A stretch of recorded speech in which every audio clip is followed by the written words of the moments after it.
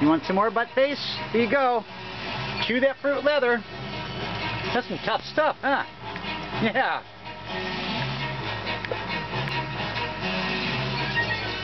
Gotta work for it, huh?